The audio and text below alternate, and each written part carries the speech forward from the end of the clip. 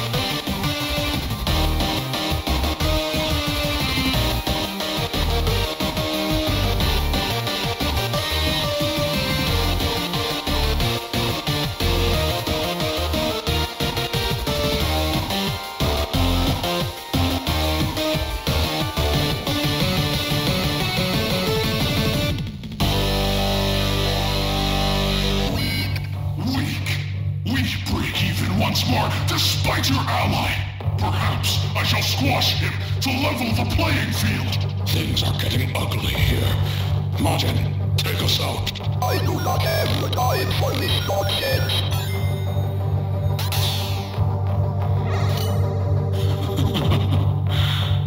and so our fruitless gridlock persists.